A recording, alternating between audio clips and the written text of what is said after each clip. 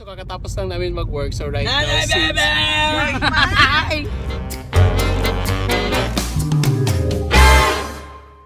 Heading to...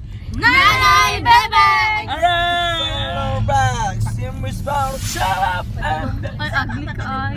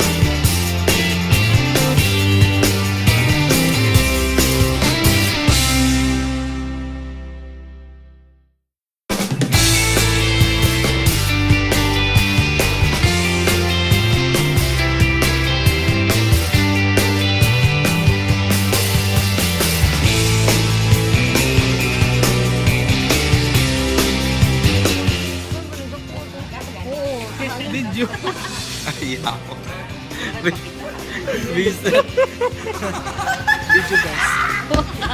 Video guys. Yung mana. Oo. Ilang... Oo. Oh, ganyan.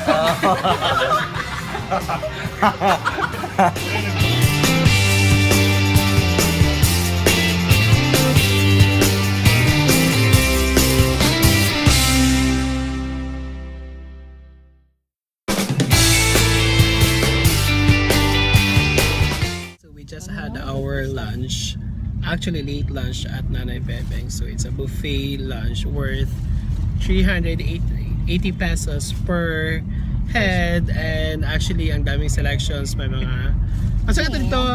Beef mandarin. Beef mandarin. So what what are your favorites, Reg? Kare kare. Ikaw, may yung favorite? Brownies! Kare, kare. I love the brownies. Ikaw, and Same thing with Reg, brownies. ikaw, Kathy, Kare kare. Carl. Ako si Carl akong favorite. Yun lang talaga.